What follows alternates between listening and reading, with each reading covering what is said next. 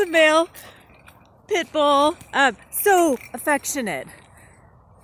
Apparently likes balls.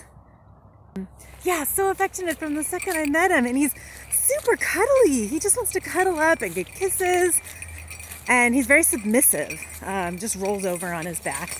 Huh, baby. Oh gosh, you are such a doll. Oh, super squishy and loving, and whoa, just knocked me over.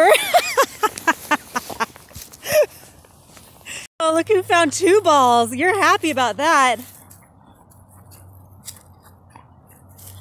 This is one happy dog. I really love this guy. Mm.